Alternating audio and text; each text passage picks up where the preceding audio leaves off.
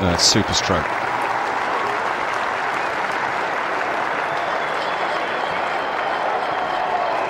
One thing will stand out in the replay, and that's the straightness of the blade.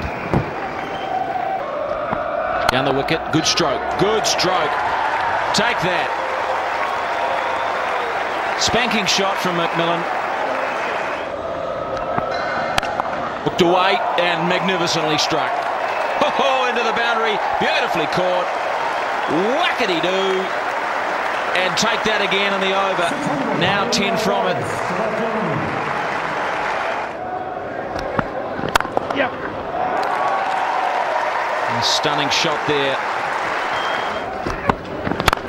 Down the ground, great shot, and hammered away for four more.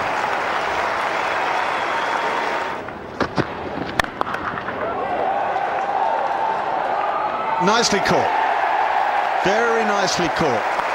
Michael Vaughan was the man out at long on, and he had a few things to think about. This bright, clear sky was one of them.